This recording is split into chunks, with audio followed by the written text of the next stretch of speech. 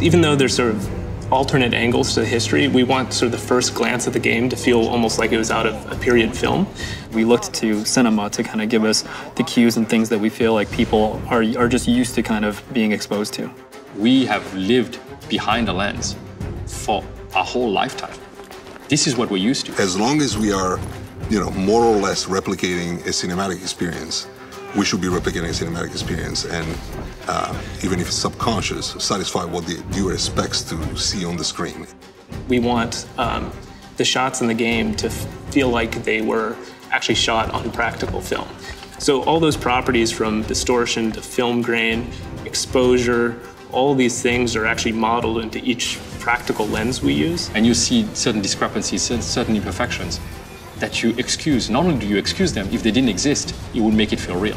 It feels comfortable and familiar to what you expect to see when you're going to the movie theater in terms of uh, you know, the quality of the visuals, even the defects in the visuals. We wanted imperfections to the cameras. We wanted to make it feel like there's actual person behind the lens. We don't want things to be clean. Like we want to make sure we're framing the action at the right moment, but it feels like a real person. You're seeing bullet hits happening nearby and stuff, you know, it's kind of uh, falling over them, like debris and stuff like that from stuff ricocheting.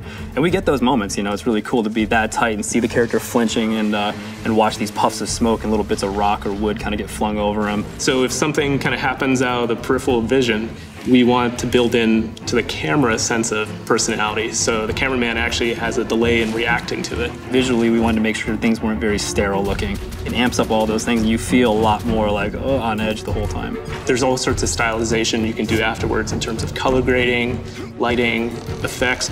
On top of that, we add more stylization in terms of color correction and grading that kind of enhance the tone of what it was initially shot.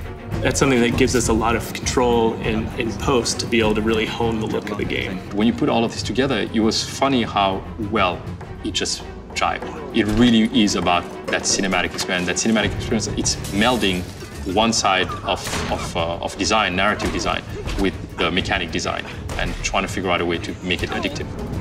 In games, I don't think you've seen that look so much where you can actually feel like you're in a period film, so to speak, and you have the influence of, of that world and can kind of dwell in all the little interesting nuances of, of history and place and story.